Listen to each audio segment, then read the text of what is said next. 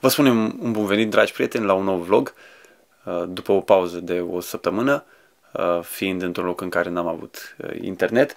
Am dorit în clipul acesta să vorbim despre copiii și tehnologia, despre felul în care părinții ar trebui să privească relația copiilor cu tehnologia. Spunem relații pentru că unii copii chiar dezvoltă o relație cu gadgeturile și mediul online. Vlogul nostru va avea trei părți majore. În primul rând vom prezenta perspectiva noastră asupra acestui subiect. În al doilea rând vom vorbi despre efectele tehnologiei asupra copiilor și în al treilea rând vom oferi câteva soluții pentru părinți în ce privește modul în care aceștia ar trebui să administreze tehnologia în viața copiilor lor. Cristina, îți spun un bun venit la acest nou vlog. Aș dori să îmi spui de ce ar trebui părinții să fie preocupați uh, de relația copiilor lor cu tehnologia și cu mediul online. Care e problema? De ce să nu lăsăm copiii să privească desene și tot felul de alte lucruri? Mediul online este un mediu foarte, foarte pervers, dacă aș putea spune.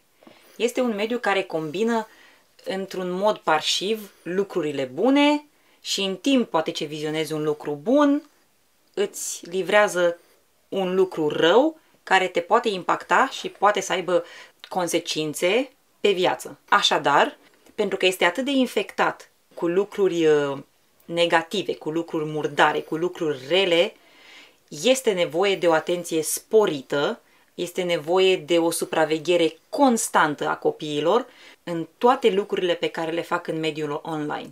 Prin asta vrem să spunem clar că nu suntem împotriva tehnologiei, ne este foarte clar, tehnologia poate fi o unealtă, dacă este folosită bine, poate fi o unealtă foarte bună, foarte utilă. Ceea ce facem noi acum? Exact, dar mă refer în mod special pentru copii, pentru că de asta vorbim.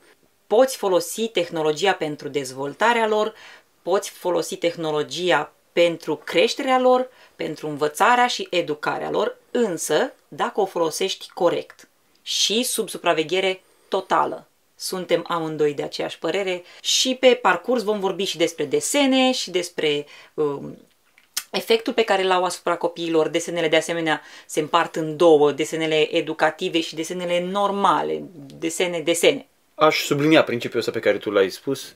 Tehnologia trebuie să fie sclava noastră, dar ea poate foarte ușor și avem atâtea exemple, ea poate deveni rapid și ușor o formă de control, de robire a copiilor noștri. Deci noi nu suntem împotriva tehnologiei, ci vrem să o folosim, nu ea să ne folosească copiii noștri. Exact. Și aș da aici două exemple pentru a ilustra ce ai spus tu mai înainte, că mediul online este foarte infect. Orice adult care a petrecut timp în mediul online știe că lucrurile sunt așa. Deci orice argument împotrivă, din punctul meu de vedere, este unul născut din nesinceritate. De exemplu, te uiți la desene, la un documentar și așa mai departe, îți apar reclame pe care tu nu le poți controla. Unii zic, da, dar îți apar reclame în funcție de căutările tale și așa mai departe. Este adevărat că sunt algoritmi care generează reclame de felul acesta, dar sunt reclame care sunt total ieșite de sub controlul tău. Și copilul poate să vadă o reclamă, exact cum ai spus tu, exact asta se întâmplă și de la reclama aia să fie impactată toată viața. Ceea ce noi nu dorim să se întâmple. Sau privești un documentar despre universul nostru și el află acolo că nu există de fapt Dumnezeu, că Universul are nu știu câte sute de milioane de ani și așa mai departe. Uh, lucruri cu care noi creștinii nu suntem de acord, lucruri care sunt puse astăzi pe seama științei, deși multe dintre ele nu pot fi dovedite științific. Și copilul poate să fie afectat din momentul respectiv, nu pentru că noi i-am ascunde, de exemplu, că sunt teorii... Exact asta vreau să zic. Uh, poate că intră în contact cu această teorie la o vârstă nepotrivită. Da. Deci Sau altcineva este... o prezintă din perspectiva lui. Eu nu mă feresc să-i prezint copilului meu teoria Big Bang-ului, dar să-i o prezint din perspectiva mea. Exact. Și nu m-aș feri nici să eu cineva, altcineva din exterior să-i o prezinte, însă prima dată trebuie să fie cablat de mine ca părinte. Corect. Când eu consider potrivit cu dezvoltarea lui și cu vârsta lui că este timpul să îi prezint o anumită teorie, eu voi prezenta, dar nu aș dori să-mi ia înainte, acum se întâmplă accidental, dar n-aș dori să-mi ia înainte altcineva prin perspectiva lui, pentru că dacă copilul mi-a fost încredințat mie, eu sunt prima responsabilă să îl învăț, să îl educ în toate aspectele vieții. Aici cred că ai spus o chestie extraordinar de importantă, poate una dintre cele mai importante lucruri, că autoritatea și responsabilitatea de a-ți învăța copilul este a ta, nu este a altor oameni. Nici a oamenilor de știință, nici a profesorilor, nici a nu știu ce altfel de oameni care se ocupă de diferite domenii în care noi am vrea ca copilul nostru să fie introdus. Dar el trebuie introdus acolo cu filtrele pe care părintele are responsabilitatea să îi le pună în mintea lui. Dovadă că lucrurile astea sunt adevărate sunt chiar, dau un exemplu extrem, ateii. Ateii sau multe personaje neomarxiste care sunt în spațiu online acum și chiar poate care conduc țara noastră și care spun copiii nu sunt ai părinților. Și vezi că sunt virulenți când spun lucrul ăsta. Da. Îți deranjați de faptul că părinții își învață copiii religie, credința în existența lui Dumnezeu, că Biblia este adevărată și așa mai departe. Ei zvădit deranjați de lucrul ăsta. Și ei spun, domnule, asta este o formă de uh, spălare pe creiera copilului dacă părintele îl învață pe copil și așa mai departe, dar ar vrea el să-l ia de la... Pe creier, exact. exact să-l ia de la 3-4 ani și să-l învețe el. Da. Deci este, ceea ce ai spus tu, este la lumina zilei, evident, deși mulți părinți nu văd lucrul ăsta. Suntem într-un război. Într-un război de ideologie, într-un război de perspective, într-un război de valori, într-un război de standarde, într-un război de perspective care ele sunt, se bat cap în cap. Ele pur și simplu nu sunt complementare, ele pur și simplu nu se pot lega, nu pot supraviețui împreună. Și este un război în desfășurare și în continuă creștere. Dacă nu ne cablăm bine copiii de pe acum, dacă nu avem grijă de ei, de mințile lor, de informațiile pe care le le acumulează, războiul ăsta este sortit eșecului pentru ei. Când am spus că noi ca părinți suntem responsabili pentru copiii noștri, pentru ceea ce văd, pentru ceea ce acumulează din mediul online și nu numai, dar pentru că subiectul este mediul online și tehnologia, vreau să mă explic ce am vrut noi să spunem de fapt prin a controla, prin a supraveghea nu vrem să spunem că este un stil comunist de a controla lucrurile, ci este o deprindere, un stil de viață. Și anume, copilul nu este controlat numai la tabletă sau când este pus în fața laptopului sau a telefonului. Copilul este controlat în general în viața de zi cu zi. Atunci când își face patul, atunci când trebuie să-și spele farfuria, atunci când își aranjează hainele, când face lecțiile, este un fel de control. Dar, cum am spus, nu este stilul comunist, este un fel de a veghea asupra lui și în același timp al corecta, ai uh, sorta materialele, ai sorta lucrurile în general în viață și așa se face și se procedează în mediul online sau vis-a-vis -vis de tehnologie. Părinții au această responsabilitate enormă de a-i călăuzi pe copii în tot ceea ce fac. Uite, dacă cineva ar fi deranjat, de exemplu, de lucrul ăsta, că noi am zis că trebuie verificat continuu, total, că trebuie uh, controlat într-un anumit sens, că este un fel de control da, a informației. Este și până la o anumită vârstă, dar da. vorbim mai târziu. Dacă cineva ar fi deranjat, ar trebui să privească la oricare alt domeniu din viață. De exemplu, la niște copii care se pregătesc să fie sportivi. Îi controlează mâncarea, îi controlează la ce oră se culcă, îi controlează antrenamentul, îi controlează apa pe care... Controlează tot. De ce? Ca să-l dezvolte în privința aia. Acum, noi, ca părinți, uh, urmărim dezvoltarea complet a copilului în orice domeniu a vieții sale, de aceea noi trebuie să îl călăuzim pe el, să-l îndrumăm pe el, să-l verificăm, să-l evaluăm, să-l examinăm în toate privințele, da? Cum ai spus, nu o facem într-un mod securist, stând cu arma pe urmele lui, sub absolut nicio formă, ci suntem părinții lui, dorim tot binele și o facem într-o atmosferă caldă. Și prietenească și apropiat de el și uh, oferindu-i explicații, înțelegere, unde nu se înțelege, trebuie pusă la înaintarea autoritatea părintească, clar, dar cât se poate exact într-o atmosferă caldă, prietenoasă, aproape de copil și să explice, mami, nu ne uităm la asta, haide, mergem la altceva. Uite, îți voi explica mai târziu, nu este vârsta pentru asta. Uite, sunt lucruri murdare, sunt lucruri râte care nu-i fac, nu fac Domnului plăcere și tot așa, controlat în, ă, îndeaproape și totuși aproape de el. Deci, pe scurt, filozofia noastră este că părinții trebuie să evalueze tot materialul pe care îl vizionează copilul online sau pe care ar trebui să-l vizioneze sau ai vrea să-l vizioneze și acest control, această verificare este progresivă. Adică odată cu trecerea vârstei îi poți deschide o arie mai largă copilului de materiale pe care le poate uh, viziona. Deci eu nu bombardez copilul de la 3 ani sau de la 4 ani sau de la 5 ani cu informații pe care el ar trebui să le afle la 13 ani și poate cineva în mediul online o face mai bine decât mine. De ce vorbim despre o deschidere progresivă? Vorbim despre o deschidere progresivă simplu pentru că copilul crește devine mai înțelept, mai echilibrat, mai înfrânat și mai capabil, este cablat de tine cu trecerea timpului, capabil să discearnă lucrurile pe care le vede și le aude. Ăsta este motivul pentru care deschizi progresiv informația către copilul tău. Așadar, noi nu vorbim de lucruri rele pe care îi le dai progresiv copilului, ci chiar lucruri bune pe care un copil la 4 ani nu trebuie să le știe, da? Trebuie să le știe poate la 14 ani sau la 18 ani. Așadar, ție trebuie înțelepciunea de a filtra informația potrivit cu vârsta și dezvoltarea copilului tău. Acum am vrea să trecem la partea a doua și să discutăm despre efectele nocive, despre impactul pe care îl au desenele, de exemplu, jocurile pe calculator, pentru copiii de vârstă mică. Și pentru noi, ca părinți tineri, a fost uh, o frământare multă vreme, mai ales când a apărut pe lume primul copil și tentația este mare. De ce este mare? Unu, pentru că multe mame din jurul tău fac lucrul acesta și când te vezi în postura aceea, știi, copilul ăla stă cu minte pentru că stă cu telefonul, tu tot timpul trebuie să fii cu el așa, cu el așa, să-i dai aia, să-i dai aia, tu tot timpul ești transpirată, când mama aceea este atât de liniștită și copilul stă atât de nevinovat în fața telefonului și atât de cu minte, ești atât de tentată să, să te alături uh, ei și să-i dai copilului gadgetul în mână, încât uh, te întrebi, măi, e ok să eu să merg așa contra curentului. Eu sunt mama aia care fac eu pe deșteaptă acum. Dacă până acum nu ați realizat și nu ați uh, intrat, să zic așa, în contact cu gândirea aceasta, cât de rău pot să facă desenele copilului, noi acum dorim să vă dăm câteva argumente, considerăm noi, puternice și să vă arătăm efectele negative majore pe care le are un simplu desen asupra copiilor dumneavoastră multe din informațiile pe care noi o să le dăm sunt informații pe care le puteți uh, auzi și verifica la persoane calificate uh, din domeniul medical, de exemplu, sau care lucrează în alte are ale științei.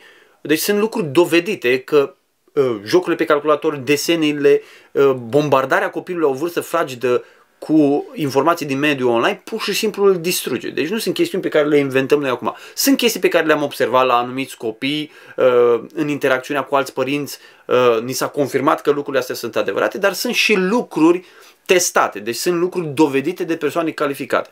Așadar, uh, legat de desenele animate, chiar și știința, prin studiile ei, încep cu știința ca să vă dau un argument științific. Prin studiile ei arată că desenele animate produc în creierul copilului dumneavoastră niște anomalii fantastice. Îi expun pe copii unei lumi ireale care este dată pe rapid. Ați văzut de ce este concentrată o perioadă așa de mare de timp într-un desen animat de câteva minute? Exemplu, Tom și Jerry. Cum pune doamna aceea masa? Pac, pac, pac, trei farfurii, imediat se așează mâncarea, imediat se aprind lumânările și cheamă la masă.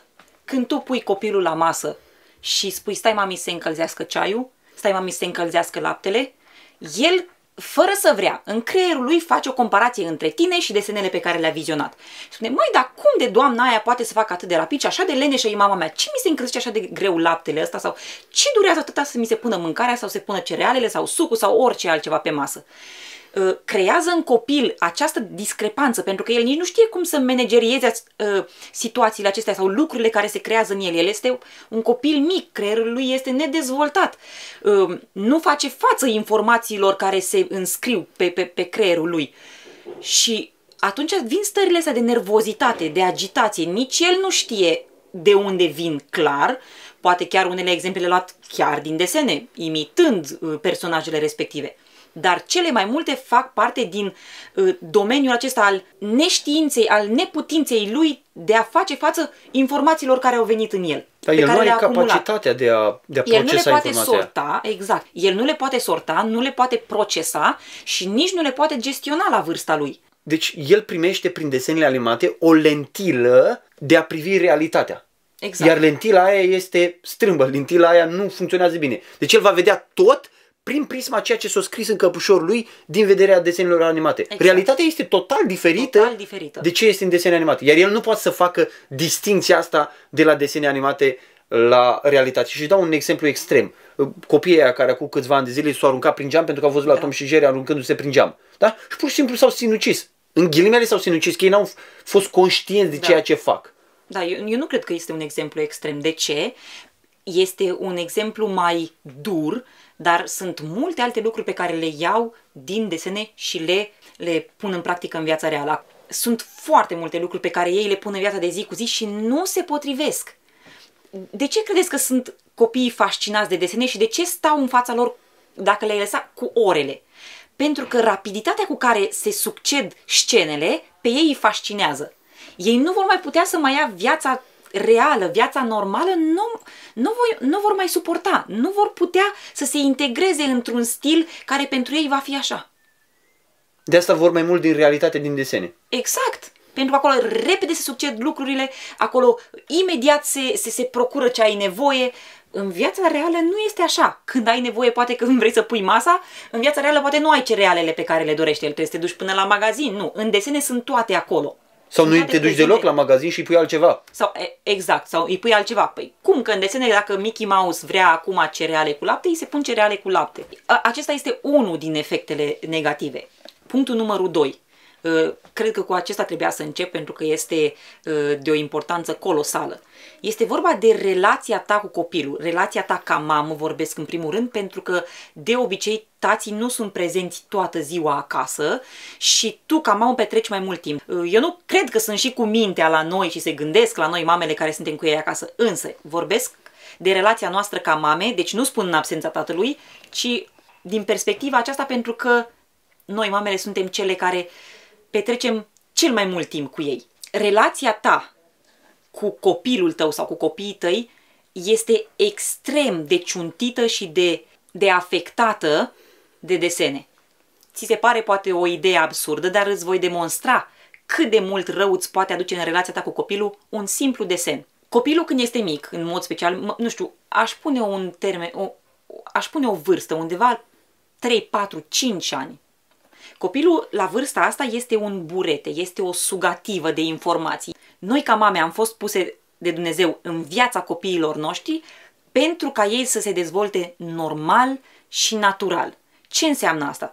În momentul în care tu îți educi copilul, îl înveți un simplu mulțumesc, îl înveți să spună un simplu bună ziua sau la revedere sau când vă, tre- când vă treziți dimineața să, și vă întâlniți să spună bună dimineața, copilul nu învață o simplă informație în creierul lui se dezvoltă niște sinapse, niște legături, care vor fi legate de tine.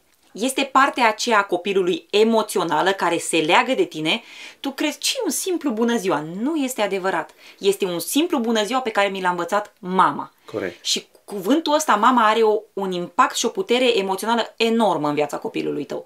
Când îl învață Mickey Mouse sau, o, spun Mickey Mouse pentru că de la ei am de la copii, în general am tot auzit de clubul lui Mickey Mouse sau Baby Ricky, sunt niște desene acum în vogă care pare educative, nu spun că sunt rele, însă spun că te privează pe tine de legături cu copilul tău.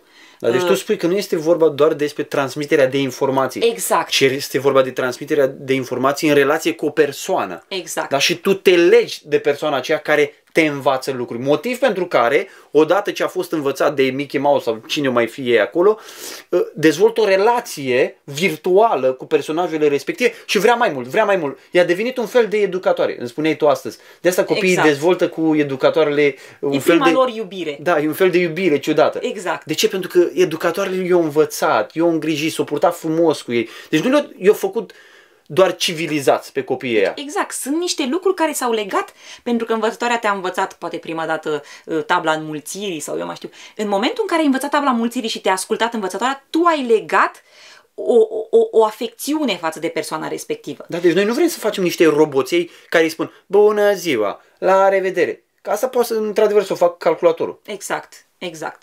Uh, este o dezvoltare în același timp a părții emoționale din copil care este extrem de importantă. Eu cred că ăsta e motivul pentru care sunt atât de mulți delicvenți și infractori și copii deformați. Poate nu neapărat infractori, pentru că ei nu au exact ce ai spus tu. Nu dezvoltarea asta emoțională în timp ce sunt educați, să dea bună ziua, tabla mulțirii și așa mai departe. Da? Lor li s-a făcut tehnologizat toată treaba asta. Și ei nu sunt dezvoltați emoțional, deci ei pur și simplu cresc cu un handicap emoțional, exact. sunt, sunt, sunt distruși emoțional exact. copilul pentru că nu au avut niște părinți care să învețe lucrul ăsta. Uite, îți dau un exemplu extrem. E demonstrat, cel puțin în America, unde statistica funcționează foarte bine, că familiile în care este un singur părinte pur și simplu dau societății non-stop valuri întregi de infractori. De ce? Da. Din lipsa unui părinte din casa respectivă. Da. Ei, nu este aceeași lipsa părintelui când eu l-am pus în fața calculatorului și eu sunt total absent din viața copilului meu și calculatorul meu îl învață pe copilul meu tot felul de lucruri. Exact. Numai bine mă introduci într-o altă, într-o altă problemă delicată și anume, în momentul în care tu îți expui copilul uh, la tehnologie, știți cum copiii sunt niște psihologi și te miros ca niște câini de vânătoare. Ei știu momentul în care l-ai pus la tehnologie pentru că vrei să înveți ceva împreună cu el și momentul în care l-ai pus la tehnologie ca să scapi de el. Exact. Și de cele mai multe ori, noi vrem să scăpăm de el. Și eu, credeți-mă, s- mă lupt cu aceeași ispită de cele mai multe ori. Zic, ah, atât aș vrea un sfert de oră să-i pun la, o, la, la un desen să pot să stau liniștită să-mi pun capul pe pat. Însă, imediat îmi vine în minte uh, chestia aceasta. Copilul te simte, te miroase, mai devreme sau mai târziu tu ca mamă vei simți vinovăția aceasta, copilul o va exploata și te va manipula cu ea mai târziu. Corect. Și intri într-un cerc vicios din care nu mai știi să mai ieși. Corect. Deci să știți, nu-i subestimați pe copii pentru că ei au un creier acum pe care se scrie. Pe care se scrie Ei foarte funcționează mult. ca niște genii acum. Deci acum chiar au niște creiere de genii. Dacă vreți să le exploatați pentru a-i crește sănătos și bine, am spus mai înainte, controlați sau conduceți, canalizați în tehnologie cu înțelepciunea dumneavoastră, sortând materialele care trebuie, uh, verificând, ba, din contră, uh, el trebuie să te vadă că ești un om interesat de el, interesat de cultura lui, interesat de inteligența lui.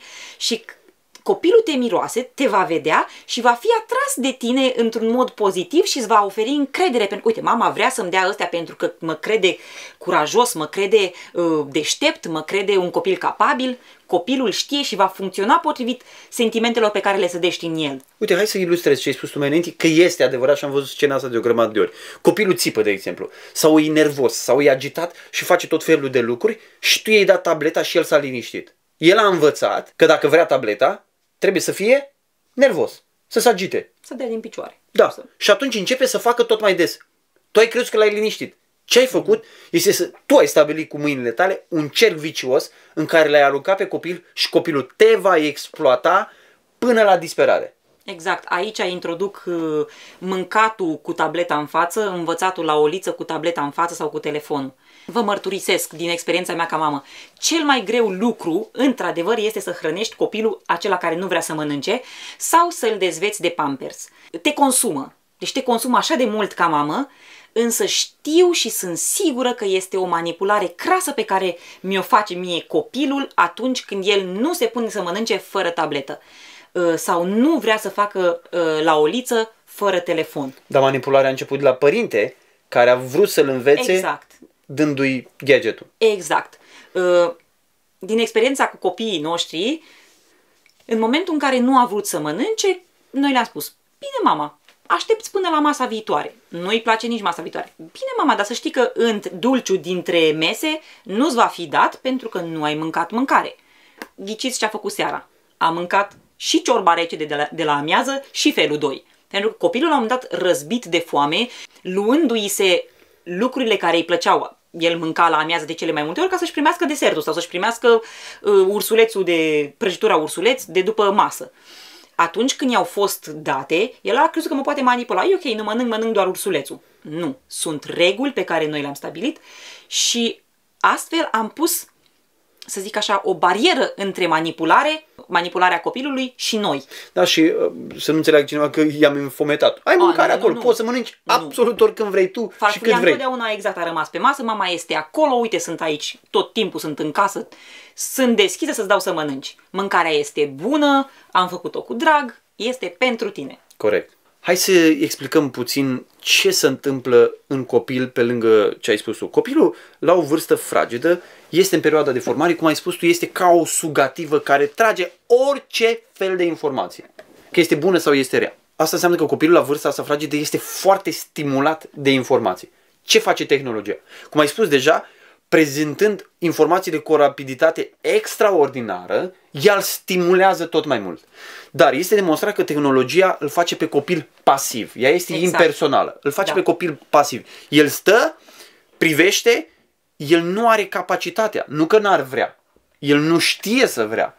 Și dacă ar vrea, nu are capacitatea de a evalua, de a examina, de a discerne, Nu este dar de a dezvoltat. separa lucrurile. El nu Exact. este dezvoltat Exact. pentru lucrul acesta, de aceea când tu îi dai anumite informații, pe care poate le găsești și pe internet, tu îi le dai informațiile acelea la pachet cu un filtru, la Exact. pachet cu discernământ, la pachet cu înțelepciune. Asta nu poate face tehnologia. Și în timp ce îi se dă informația aceea, copilul acela are scris pe hard discul lui, pe creierul lui, anumite informații, da? El preia, el devine ca cei pe care îi privește. De aceea, dacă avem de-a face cu niște părinți credincioși, cu atât mai mult noi dorim ca copiii noștri să preia chipul nostru moral și spiritual care este după chipul Domnului Isus Hristos, da? Că vrem sau nu vrem, copiii se vor modela după chipul cuiva. Da.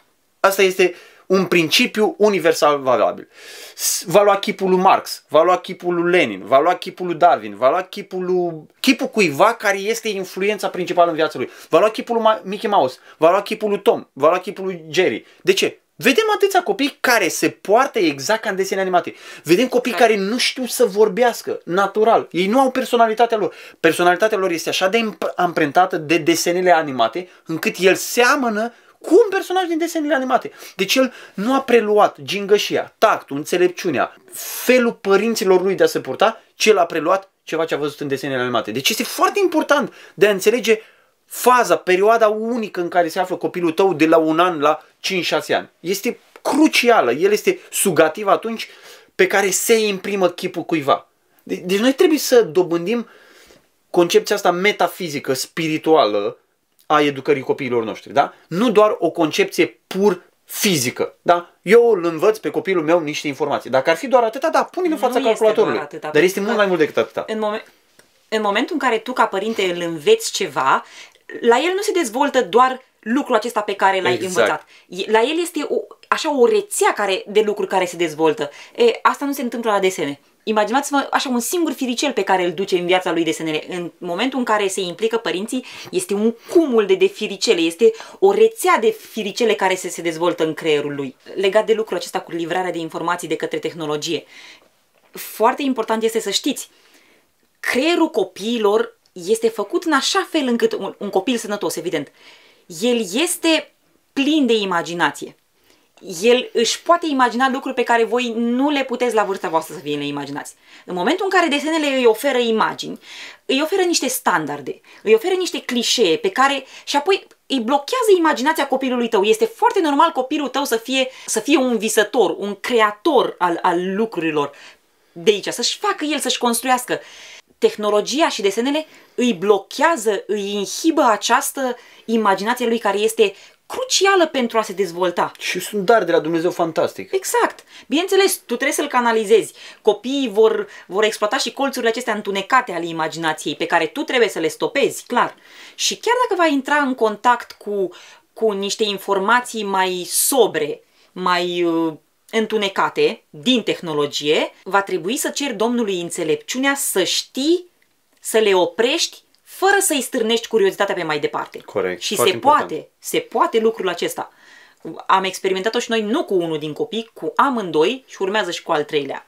Uite, aș lega de lucrul ăsta faptul că tehnologia îi stabilește o obsesie vizuală impersonală. Este legat de ce am spus noi. Da? El va vrea să vadă în continuu. El va vrea Da. să primească informație doar prin vedere. Da? Deci este legat de faptul că îi distruge imaginația și imaginația fiind micșorată, se mărește aspectul vizual.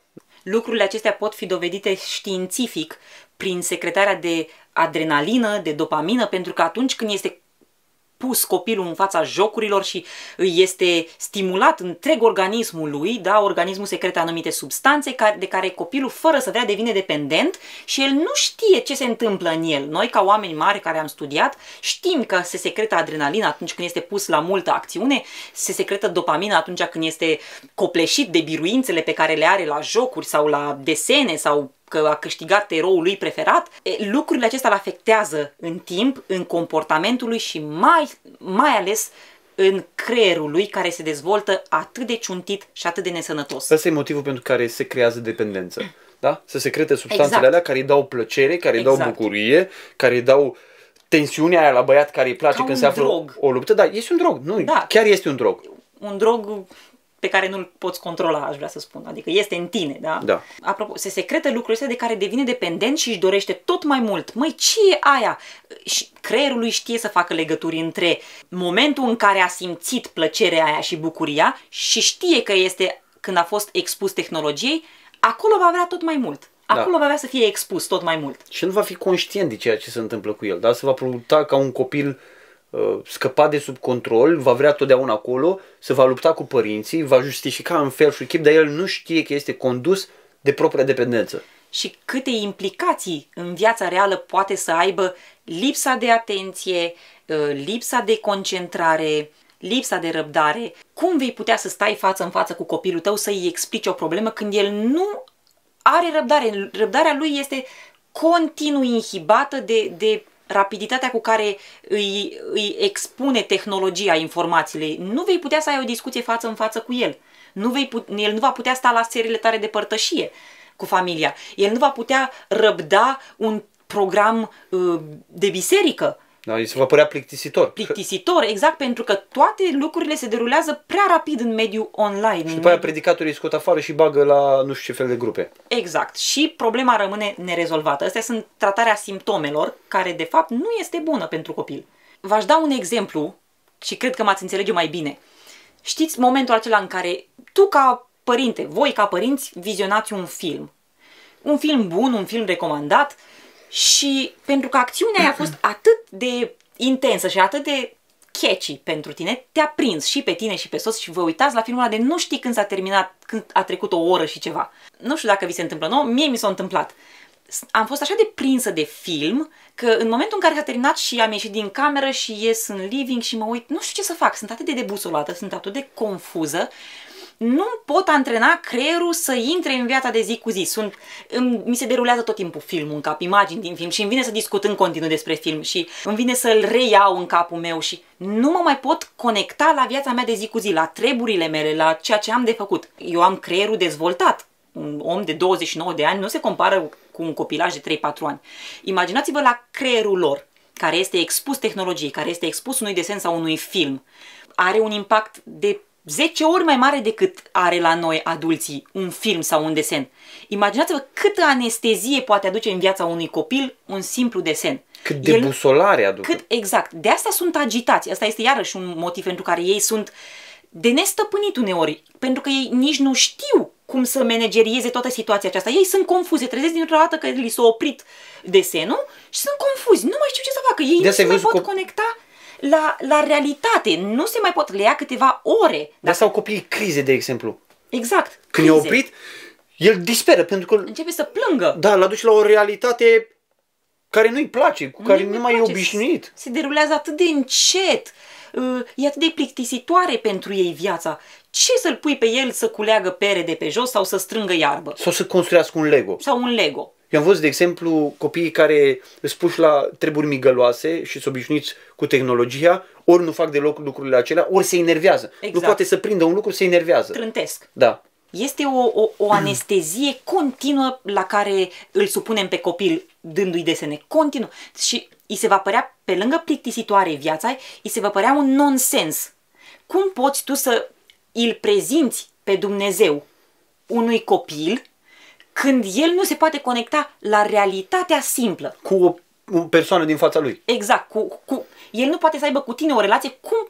Uh, nu poate avea o relație cu tine pe care te vede, da? Cum poți să-i prezinți un Dumnezeu pe care nu-l vede și tu îl prezinți pe Dumnezeu și prin lumea uh, din jurul lui, da? Când lui îi se pare lumea atât de plictisitoare, uh, atât de fără, non, fără sens, cum poți să-i prezinți pe Dumnezeu? Cum poți să-i duci tu gândirea lui înspre Dumnezeu? Mi se pare imposibil.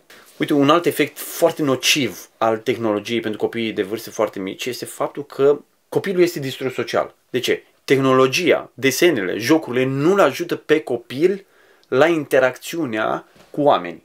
Și nu-l ajută la interacțiunea cu complexitatea situațiilor și uh, complexitatea de oameni care există în jurul nostru. Da? Tehnologia pur și simplu te separă de toate lucrurile astea. Tehnologia îți dă toate lucrurile uh, la distanță de un click. În timp ce în relația cu oamenii toate toate lucrurile, cum ai spus tu, îs de 100 de ori mai grele și implică o sumedenie de factori, da? El pur și simplu este sabotat din punct de vedere social, este răcit din punct de vedere social, este distanțat, rupt social. Asta pentru că este mai ușor să facă față situațiilor pe, prin care trece într-un joc sau într-un desen animat, pentru că este privat de incomoditate sau de situații jenante pe care le întâlnești în viața de zi cu zi. Și pe care trebuie să le întâlnești ca să te da, dezvolți. Sunt foarte normale. Când face cunoștință cu Mickey Mouse, sunt niște vorbe pe care le aruncă, atâta.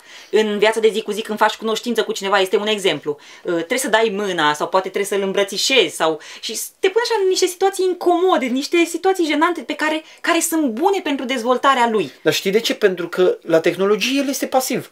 El nu Exact, face nimic. exact. În timp ce, când ești față în față cu o persoană, uh, să te trebuie pui să la lucru. reacționezi. Exact. Da? Și eu am văzut, uh, multe persoane zic, ah, păi copiii voștri, dacă nu interacționează, că foarte mulți copii, nu știu pe unde, o să fie uh, Antisocial. antisocial. Nici vorbă, copiii noștri discută cu absolut toată lumea ar discuta. Și în special cu adulții. De ce? Exact. Pentru că i-am expus interacțiunii cu ceilalți oameni, nu cu Mickey Mouse. Recent am vorbit cu un tânăr care joacă un joc uh, cu arme, cu împușcături cu... și l-am întrebat, care, care crezi că e beneficiul pe care ți-l aduce jocul acesta? Și îmi spune că, e, dacă vin ele vremurile de război, și zic eu, măi, tinere, măi, au fost oameni, soldați, antrenați în forțele speciale, antrenați în armate și în tot felul de programe și în momentul în care au dat față fa- în față cu războiul, cu oameni și a trebuit să omoare un om sau să împuște un om, ăia nu au mai fost oameni pe veci. Da, urmă traumatizați toată viața. Traumatizați toată viața, unii chiar au nebunit. Mie nu-mi spui că un joc în care împuști virtual niște personaje te antrenează pe tine pentru vremuri de război. Și încă o chestie. Și dacă te-ar desensibiliza la crimă, îi ăsta un lucru bun? Nu. Deci Că în poate ambele nu vor sensuri veni- în care îl luau, mi se Exact. pare oribil lucrul ăsta. Adică ce noi, să zicem că te-ar pregăti pentru război. Noi asta vrem să facem? Noi vrem să ne pregătim copiii ca să moare cu sânge rece? Nu. Și problema este că nu te va desensibiliza doar pentru război. Nu există. Este o, e, e un vas pe care îl cuprinde desensibilizarea asta în care sunt mult mai multe categorii. Exact. Te desensibilizează în multe aspecte și apoi nu știi, bă, de unde am eu lipsa asta de sensibilitate? Te legat de jocuri. Când joci un joc ai impresia că ai reușit ceva, știi? Bă, am ieșit biruitor. N-ai biruit nimica. Deci când ai întors capul la calculator, n-ai biruit nimica. Deci ești exact același om care a fost mai înainte, n-ai biruit absolut nimic. N-ai învins nimic, n-ai câștigat nimic, ai pierdut timpul, energia și viața ta. Ai consumat-o în ceva care nu te ajută la nimic. Iar asta este calea sigură, 100% spre depresie, spre dependență. Da. Pentru că, pentru că vezi că în viața reală nu obții nimic, nu ai biruit nimic, nu ai nicio victorie, atunci te, cum- te cufunzi tot mai mult în locul acela unde este o pseudo-victorie și vai domne ce lucruri ai, uh, ai acumulat acolo. Da, și asta te face sedentar, leneș, pasiv. Probleme de sănătate, Da. obezitate și... Când tu ai nevoie să te miști, să ieși, să muncești, să lucrezi, să te dezvolți, să faci ceva pentru tine, pentru lumea asta, pentru împărăția lui Dumnezeu și așa mai departe. Deci, cred că sunt suficiente motivele pentru care nu ar trebui să folosim tehnologia într-un mod nesănătos. Atât noi, dar cu atât mai mult copilașii noștri care sunt în curs de dezvoltare, care sunt niște genii, niște psihologi, niște ființe superbe pe care le poți conduce spre o dezvoltare frumoasă, armonioasă, ca niște Exact. copii sănătoși și normali. Haideți să oferim în final, în concluzie, câteva soluții, așa, să tragem câteva gloanțe, punct ochit, punct lovit, ce soluții avem, ce trebuie făcut de aici înainte. Sunt sigur că multe din familiile, părinții care ne ascultă acum, fac lucrurile pe care noi le-am condamnat și poate sunt convinși și îmi doresc ca Duhul Sfânt să-i convingă că lucrurile nu sunt bune așa cum sunt acum și trebuie să uh, dezvoltăm ceva mare, da? în mare. Trebuie să dăm niște principii generale pe care ei să le aplice la situațiile lor și principiile astea generale trebuie să fie foarte clare. Care ar fi câteva sfaturi? În primul rând, vorbesc din perspectiva unei mame, iarăși. Este nevoie de o reformă în viața ta. Este nevoie de o schimbare a priorităților, de o reorganizare a lucrurilor și de o reprioritizare a lucrurilor în viața ta. De ce spun aceasta? Pentru că dacă ai fost convinsă că, într-adevăr, copilul tău petrecea mult prea mult timp în fața desenelor pentru ca tu, într-un mod justificat, aș putea spune, să-ți faci așa zise treburile din casă, ei bine, acum ești pus în fața unei dificultăți mari, și anume, uh, ce faci cu timpul pe care altădată copilul și-l petrecea în fața tehnologiei? Bun, îi scot desenele, dar ce fac? Ei bine, tu ca mamă acum ești chemată să intri 100% în viața copilului activ. Și anume, dacă până acum, eu știu, petreceai mai mult timp pe rețelele de socializare, Facebook, Twitter, care mai sunt, YouTube, Instagram. Instagram. Ăsta este motivul pentru care eu personal nu mi-am făcut niciun cont pe niciuna din rețele, pentru că mă știu pe mine, știu ispitele cu care mă confrunt și sunt 100% sigură că mi-aș petrece foarte mult timp acolo. Așadar, ă, ca să nu fiu ispitită, nici ca să șterg contul și apoi să intru, iar nu l-am făcut și Da. nu-l voi face până când, nu știu până când. Da. Așadar, E o ă, poziție radicală, dar eu cred că este una foarte necesară. da, este într-adevăr radicală și de multe ori vă spun, sunt ispitită, n-are rost să mă ascund după deget că sunt ispitită. Dar imediat îmi, îmi șterg ispita asta și spun, mă, e bine și văzând în timp progresul, îmi dau seama că este bine.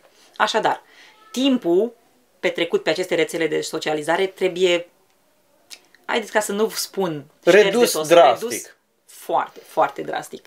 Dacă se poate chiar să fie inexistent, că nu, credeți-mă, nu vă rupeți de lumea reală. Din contră, acolo este o lume destul de periculoasă. Deci sunteți mai, mai câștigați decât, dar trebuie să mai văd și eu pe cutare și pe cutare. E virtuală, de asta îi se spune lumea virtuală. Nimeni nu își pune pe Facebook să o certa cu nevasta, Exact. nici nu spune când o falimenta și o da cafeaua pe el sau nu mai știu ce. Exact, Fii serios. exact, exact. Pui o lume, o parte din viața ta care este, pentru că este ciuntită, este una ireală, este falsă, este Exact. ipocrită. Exact. Da, e un argument foarte bun din punctul meu de vedere. Da, așadar, în momentul în care îți reduci drastic timpul petrecut pe rețelele de socializare, vei avea timp să te ocupi activ de copiii tăi. Și anume, va trebui pentru început, că va fi un proces greu, să știți. La început va fi greu, vă spun de pe acum, dar nu este imposibil și este uh, de durată și este cu un scop bun și uh, nu este sortit eșecului trebuie să te implici activ. Pentru început va trebui să oferi cam 90% din lucrurile de activități, și anume tu să fii cea care numești activitatea, tu să fii cea care îl procuri, să-i și chemi la joc, să-i și angrenezi în joc, va trebui să faci mult mai multă activitate fizică și psihică cu ei. În timp, făcând lucrurile acestea, implicându-i pe copii în jocuri de, uh, de societate, jucați cu ei, jucați Remi, jucați Catan, jucați uh, Ticket Ride, jucați Kirkel, jucați, nu știu, j- Sabotor, implicați în jocurile acestea de societate care îi și dezvoltă și în care se apropie de tine, în care se uh, apropie emoțional de tine, le place. Da, și se distrează cu părinții, eu cred că asta e foarte exact. important. Este un timp de divertisment cu părinții. Uh, Se dezvoltă laturile, latura aceasta emoțională, se dezvoltă creierul lor într-un mod sănătos, pentru că tu ești prezent acolo.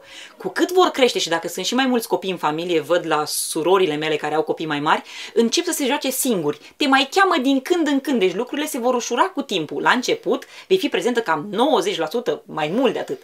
Apoi încetul cu încetul va scădea, tu doar mai vii din când în când și supraveghezi. Mami, uite, pune piesa aia acolo sau Mami, nu știu să fac aici. Vii atunci. Nu va mai trebui să faci tu toată treaba asta. Vor învăța jocurile, se vor juca singuri între ei. Uh, Asta nu înseamnă că tu vei ieși total din schimbă. Bine ar fi ca tot timpul să fii prezentă în jocurile lor. Vizionați împreună materiale uh, pe YouTube sau dar care să fie selectate de voi ca părinți, care să fie uh, vizionate înainte de voi, să vă asigurați că totul este în regulă. Uh, Vă putem sugera și multe materiale pe care noi le vizionăm cu copiii noștri. Selectați foarte bine muzica pe care o ascultați împreună cu copiii voștri. Aia înregistrată cu 30 de ani e cea mai bună, părerea mea. Dacă mă întrebați pe mine, căutați-l pe Simon Korolski și puteți să vizionați împreună cu copiii și uh, videoclipurile lui. Este un artist creștin. Și în românești Genoveva Sfatu, nu? Da, da, da, exact, cântece de copii. Cu care am crescut noi. Exact. Și atâta le plac copiilor noștri să sunt atât de frumoase și atât de decente și numai bune de vizualizat. În domeniul YouTube, ca materiale, noi uh, vizionam împreună cu copiii, sunt niște, un fel de desene minuscule. Da? Parcă minuscule se numeau. Uh-huh. Minuscule. Uh, iarăși, Andrei îi expune pe copii la o chestie foarte interesantă, se numește Primitive Technology Uh, este un fel primitiv de a construi tot felul de lucruri. Și chiar s-au apucat pe afară. Acum da. s-ar putea să facă săpături prin curte și din asta, dar... Nu, când merg cu ei în pădure, uh, văd că imită pe aceea așa fiecare cu tumbă și încep să sape. Uite, aici facem o gaură pentru ghinde. Aici. Uh, îmi dau seama că le dezvoltă corect și îi impulsionează spre niște lucruri frumoase și ok pentru vârsta lor. Da, îi dezvoltă în, și în abilitatea de a pune mâna pe lucruri, de a face ceva exact. și dezvoltă și imaginația ca să facă ei lucrurile alea. Exact, exact. Și Dar toate cu limită, evident. Cu limită și este un timp special, ne uităm împreună cu ei, ei ca să nu simtă că noi îi punem ca să scăpăm de ei. Deci Andrei sau eu ne uităm, unul din noi ne uităm împreună cu ei. Legat de YouTube, noi ne-am instalat uh, aplicația de YouTube Premium, care este lipsită de reclame, de orice fel de reclamă. Plătim lunar? Plătim lunar, dar este una din investițiile pe care nu le regret. Ne-am instalat atât pe telefon, tabletă, laptop. Există o aplicație pe Apple, este, nu știu dacă există și pe celelalte, Covenant Eyes. Exact. Da. Se pun adresele de e-mail ale părinților pe toate uh, gadgeturile și părinții primesc, nu știu la cât timp, un desfășurător a tuturor lucrurilor vizionate da, de copiilor. În caz că au fost scăpați odată uh, nevăzuți, nesupravegheați. Deci e foarte bun și astea sunt metode de uh, a ne proteja reciproc. Deci în procesul acesta de detoxifiere de desene, dacă aș putea să-l numesc așa, este clar, tu ca mamă va trebui să intri în acțiune foarte serios. Vor trebui înlocuite desenele cu activități de tot felul, va trebui să te încarci constant în rugăciune de la Dumnezeu pentru putere, pentru că vei fi extenuată, vei fi nervoasă și este natural, aș putea spune, pentru că te solicită extrem de mult, însă nu da înapoi. Nu ești singura mamă care face lucrurile acestea și dacă te simți singură, aduți aminte că atât eu care îți spun lucrurile acestea, cât și multe alte mame care îmi mai scriu, suntem alături de tine făcând aceleași lucruri, ne enervăm la fel ca tine, ne pocăim și o luăm de la capăt în a doua zi. Pentru soți aș face o precizare. În momentul în care tu vii de la servici și soția ta este epuizată, dar vezi că copiii tăi sunt zglobii și sunt conectați la realitate, susține-o, încurajează-o, apreciază-o și spune și încă o dată și mâine și poi mâine și 60 de ani de aici încolo, dacă este nevoie, că faci o treabă extraordinară, că o susții chiar dacă ești la servici și că ești alături de ea și că o încurajezi pe mai departe să facă în fiecare zi lucrul acesta și că Și este treaba ta. Deci să exact. spun așa ca bărbat, este treaba ta să faci lucrul ăsta, da? Faptul că soția ta te suplinește cât timp ești tu plecat nu înseamnă că ai treaba ei și tu ți-ai făcut treaba ta la lucru și te întorci acasă. Dar asta e un alt subiect, dar e treaba exact. ta. Ești capul familiei, preotul, profetul, regele în familia ta, trebuie să cârmuiești toate lucrurile astea și este total normal că atunci când a venit acasă, pentru că și-a muncit poate mai mult decât el, nu, sigur a muncit mai mult decât el dacă are copii, este total normal să preia atribuții care nu zice, a, îi preiau atribuțiile ei. Nu, îți preiei atribuțiile tale pe, pe care, care ea le-a împlinit exact. cât timp ai exact. fost plecat. Exact. Asta e o perspectivă corectă ca să nu te simți, domnule, că cumva faci prea mult. Nu, nu faci. Și oricând ai ocazia să o înlocuiești, fă-o. Uite, lasă-mă că mă joc eu acum cu copiii, du-te și odihnește-te un pic, du-te și fă mâncare, du-te și fă aranjează hainele, du-te și oricând ai ocazia, susține-o și înlocuiește-o. Iar pentru voi, soțiilor, eu vă încurajez să perseverați. Indiferent că este greu, viața nu este ușoară. Viața cu copii nu este ușoară, copiii mici, probleme mici, se spune copiii mari vin probleme și mai mari. Așadar, ă, dacă până acum ți s-a părut greu, se anunță vremuri mai grele de aici încolo. Așadar, perseverați și fiți curajoase, pentru că puterea nu este a noastră. Dacă sursa ta este corectă, și anume Dumnezeu, dacă tu îți tragi sursa doar din bărbatul tău și el este un om, trebuie să știi că el este un om limitat și sursa asta se va epuiza. Sursa aceea nu se va epuiza niciodată. dacă tu îți primești putere și lumină de la Dumnezeu, vei fi întotdeauna nouă. Dacă ai înțeles ca mamă că pruncul tău petrece mult prea mult timp cu tehnologia și că trebuie să faci o schimbare în viața ta, ne bucurăm foarte mult. Trebuie să știi de asemenea că ai intrat într-un război direct cu satana. Și do- dacă ți-ai stabilit ca pe viitor să te implici mai mult în viața lui, să-l introduci într-un alt stil de joc, cum am spus mai înainte, trebuie să știi că vei fi bombardată foarte de cel puțin o perioadă cu dorința copiilor de a fi expuși la tehnologie. Va plânge, va face crize, te va încerca să te manipuleze ca să cedezi. Uh, să nu cedezi. Ți-am mai spus, puterea nu vine de la tine, puterea vine de la Dumnezeu, care îți cunoaște limitele, îți cunoaște personalitatea, îți cunoaște întreaga ființă și știe să te echipeze potrivit cu nevoile tale și ale copiilor tăi. Și aș spune că o dovadă a pocăinței este restaurarea, repararea, da? Practic exact. ți greu pentru că ai greșit tu. Deci nimeni nu te-a obligat să-i pui copilului tău tableta și exact. calculatorul în mână. Deci este vina ta, trebuie să-ți asumi lucrul ăsta, iar Dumnezeu, ăsta este un lucru extraordinar, nu te lasă singur chiar dacă e vina ta și îți oferă ajutorul lui și puterea lui. Nu te lăsa copleșită sau deznădăjduită de vinovăție, pentru că Dumnezeu este un Dumnezeu al restaurării. Este fascinant lucrul acesta. Dumnezeu dorește să-ți restaureze viața ta și a copiilor tăi. Și astfel îți va da putere să treci și peste crizele copiilor și peste insistențele lor de a-i repune și a-i reexpune la tehnologie și la desene animate. Aș spune încă o chestie. Eu cred că totul ar trebui început pentru părinții care au greșit în privința aceasta cu o stare de pocăință a mândurora înaintea lui Dumnezeu. Deci da. să verse inima înaintea lui Dumnezeu, să vă mărturisiți falimentele, să cereți iertare lui Dumnezeu și eu cred că doar în felul acesta, stând înaintea lui Dumnezeu, doar în felul acesta veți primi putere de a face schimbarea care este necesară. Deci nu ascultați clipul ăla și spui, a, o să facem lucrul ăsta și lucrul ăsta. N-ai să poți. O să meargă o zi, două, trei și ai să cedezi. Stai înaintea lui Dumnezeu și după ce vei ceda, vei spune, a, nu a avut dreptate, o exagerată ea. Nu, uite, stai înaintea lui Dumnezeu, cu soția ta, rugați-vă și întrebați pe Dumnezeu, Doamne, este adevărat ce spun oamenii ăștia, luminează-ne Tu, dă-ne Tu în inima noastră acea convingere că ăsta este adevărul. Dă-ne acea lumină spirituală de care avem nevoie în această privință. Și sunt sigur că ți-o va da. Și de aici, de la punctul ăsta de pocăință, de prăbușire înaintea lui Dumnezeu, uh, vor porni toate lucrurile, reforma care este necesară în familia ta. Cristina, îți mulțumesc tare mult pentru acest vlog. Este un vlog important și pentru noi. A fost bine să îmi reamintesc, să ne reamintim împreună uh, adevărurile astea importante. Uh, sperăm să vă fie tuturor de foarte mare folos. Ne-am dorit ca să trimiteți clipul acesta cu aceste informații la cât mai mulți părinți, în special părinți, familii creștine, și să existe o reformare uh, și în domeniul acesta. Uh, știm că va fi dificil pentru mulți dintre voi, uh, dar credem că dacă stați înaintea lui Dumnezeu în rugăciune și cereți puterea Lui, El vă va ajuta. Îți mulțumesc din nou pentru că ai fost cu mine împreună și pe data viitoare.